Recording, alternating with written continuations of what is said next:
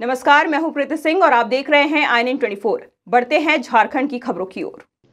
साहिबगंज ज़िले के मिर्ज़ा चौकी थाना क्षेत्र स्थित महादेवरन चार नंबर क्रशर प्लांट क्षेत्र की ओर बीते गुरुवार देर शाम अज्ञात वाहन हाईवा के धक्के से बिजली का खंभा बुरी तरह से क्षतिग्रस्त हो गया।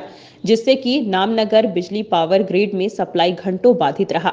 वहीं मिर्ज़ा चौकी बाज़ार एवं अन्य क्षेत्र में बिजली आपूर्ति पूर्ण रूप से बाधित रही। वहीं बिजली उपभोक्ताओं को काफ़ी परेशानी हुई। दरअसल चार नंबर पत्थर क्रशर प्लांट क्षेत्र से गुजरने वाले बिजली के हाई टेंशन तार में हाईवा टकरा गया एवं बिजली के लगभग चार पोल टूट गए। साथ ही तार का भी नुकसान हुआ। हालाँकि रात भर पानी बरसने के कारण कार्य आरंभ नहीं हो सका।